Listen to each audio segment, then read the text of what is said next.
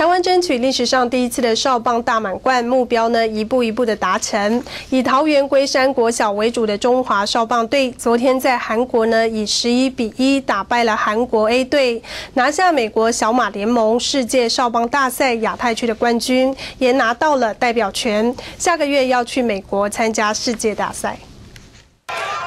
青天白日满地红的国旗在韩国首尔的棒球场飘扬，因为中华少棒队昨天打败韩国 A 队，赢得美国小联盟世界少棒大赛亚太区锦标赛冠军，也拿到八月前进美国世界大赛资格。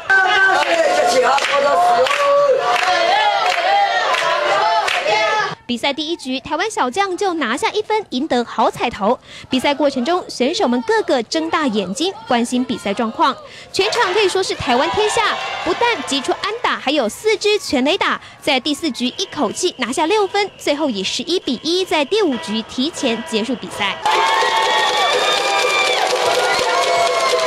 这支棒球队由教练李正达领军，以桃园县龟山国小为主。其中主力投手方彦勋投打俱佳，除了压制对方打击，也击出一支三分全垒打。我的心里只想安打，结果就全垒打，我心里很开心。今天拿到 MVP，非常开心，而且而而且还要去美国蒙特利，我会更努力。方彦勋获选为大会 MVP，总教练李正达也获选为最佳总教练。中华队上一次赢得小马联盟少棒赛冠军是在两千年，距今已经十年。现在顺利通过亚太区的考验，预计八月前往美国蒙特利，期待在世界赛也能打出好成绩。记者综合报道。